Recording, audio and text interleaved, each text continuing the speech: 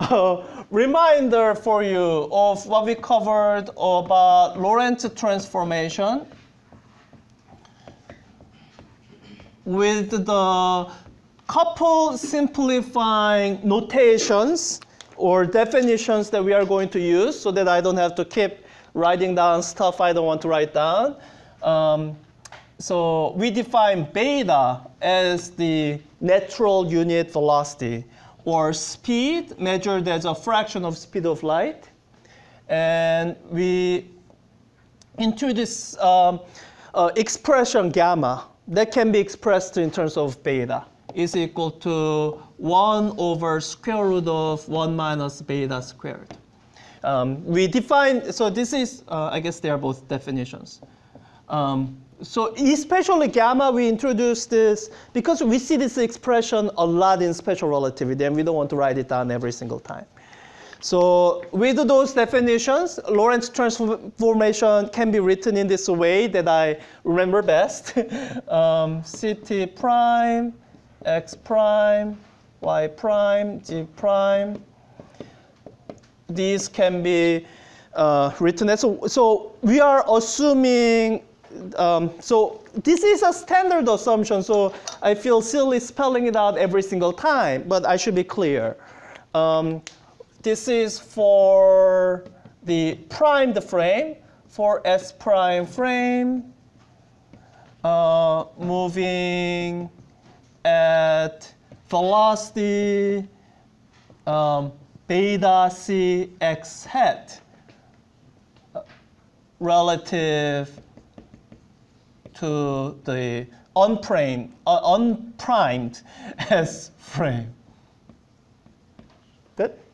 Um, I will never set it up any other way um, because uh, otherwise it messes things up. Well, good. So for this arrangement, for this arrangement, this is the Lorentz transformation. So since the velocity is in the x direction, the y coordinates are not affected at all. The x coordinate is affected uh, in some part in the way you would have expected. This, um, the part you would have, would have expected is this part, x minus beta ct, or x minus vt, which a lot of people would have guessed. But in special relativity, there's this gamma factor.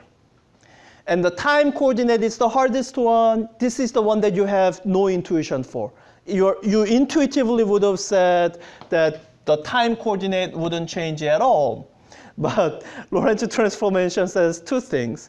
One, um, there's this term that gets subtracted out. Once you write in this format, actually these two look symmetric. That's how I actually remember it. And we'll talk about them more when we get to this part here, but that's how I always remember it. And there's a gamma factor there also. And so this uh, set of four equations is what we call Lorentz transformation. Um, this is the third time I'm writing it down from scratch, so hopefully none of this sounds unusual. And the uh, special formulas that we had derived before was for time dilation. We said that, um, so for if you have a clock that's measuring time in its own reference frame. We call that proper time. And it's ticking down time tau. And if the clock is moving relative to you, moving at speed v, then the ticking down of this clock is uh, slower compared to your own clock.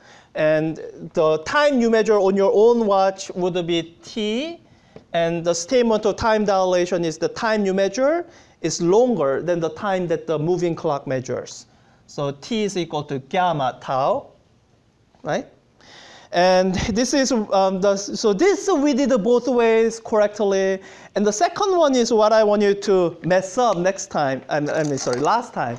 And I didn't quite mess it up the way I wanted to mess it up.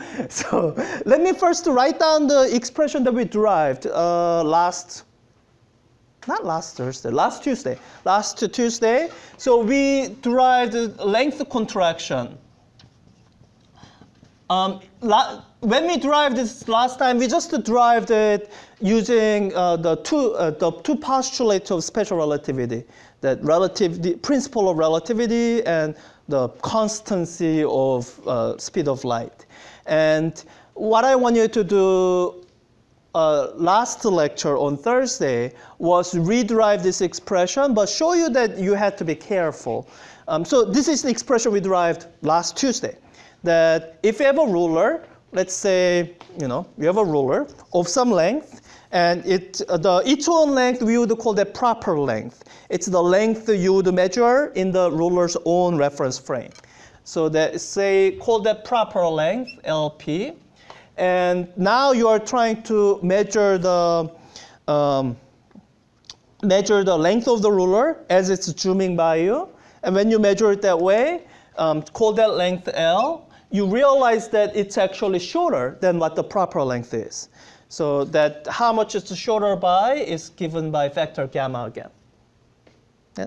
So this is, um, so these are the two special situation formulas. And um, I mean, you guys have been taking physics for quite a while. You know the distinction between general formula and special formulas, right? Yes? Newton's laws, is it a special formula or general formula? Newton's laws of motion. Really? Newton's laws of motion, first, the second, third law? It's generally applicable. I mean, you know, you, with the special relativity, you have to make the correction that Newton's laws are, you know, valid approximations at low speed limit. But when I'm uh, taking you back to physics 4a, when you're taking physics 4a, were Newton's laws special formulas or generalized uh, law that you would use under any circumstance? General, right? In physics 4a, you use the Newton's law for every single problem. Now, in physics 4a, you might have seen this formula that if you have uh, some kind of inclined plane, let's say it's frictionless, and you have something sitting here, and it's uh, you know rolling, I mean sliding downhill, then you can actually derive the acceleration. And when you are done with the derivation, you've gotten acceleration is g sine theta, right? Remember that? This is an example of a special formula. This formula is applicable only to this situation and this situation only. Whereas the Newton's law, the Newton's second law, that acceleration is net force divided by mass. This is a general formula, always applicable to everything. It, it's a, a distinction that if you weren't clearly making it before, it's useful to make it now um, because that's the distinction between these two. Lorentz transformation is the general law. This applies in every single situation. Sometimes we call this the full Lorentz transformation to make that fact clear, full Lorentz transformation. It, there is no situation under the sun where this is wrong. And you know, under the low speed limit, there was no situation under the sun where this was wrong, under the low speed approximation. And, and these two are special formulas. These two are valid for the situation that they were derived in, but it's really easy to misuse them if you try to extend them, extend them beyond the situation where they were derived. It's the same thing for this. A equals g sine theta, it's perfectly valid for this situation, but if you try to extend it beyond where it was derived, maybe instead of something sliding down, you are dealing with something that's rolling down, then you know you can get into trouble trying to use special formulas as if they were general formulas.